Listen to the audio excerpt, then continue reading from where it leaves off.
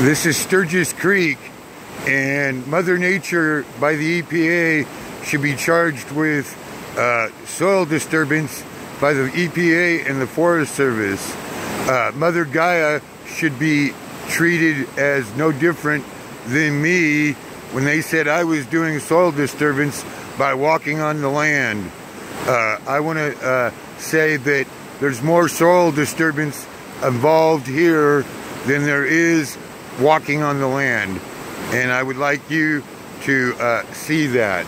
And I, this is early in the morning uh, on, uh, uh what is this? Today's Thursday, the, uh, the 10th and uh, of March 2016.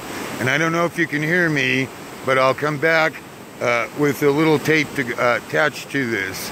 Anyways, so this is this is a tape.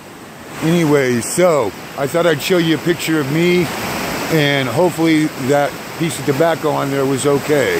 Anyways, you can see the soil disturbance. You can see the soil disturbance by Mother Nature and Gaia. Thank you.